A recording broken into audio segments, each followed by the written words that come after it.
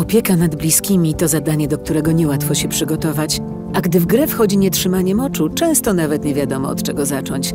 Jako opiekunka mojego taty, dobrze wiem, że potrzeby osób z nietrzymaniem moczu mogą być różne.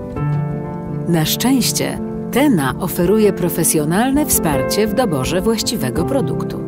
Jeśli Twój bliski porusza się samodzielnie, rozważ specjalistyczne wkładki, podpaski lub majtki chłonne Tena. Przy średnim i ciężkim nietrzymaniu moczu sprawdzą się majtki chłonne. Przypominają zwykłą bieliznę, łatwo się je zakłada i zdejmuje.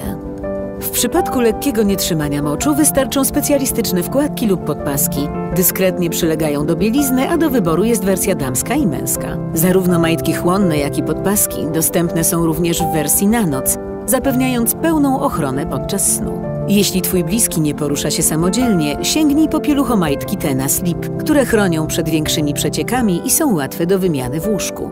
Pieluchomajtki Tena Flex posiadają pas mocujący, który ułatwia dopasowanie oraz wymianę produktu należąco i stojąco.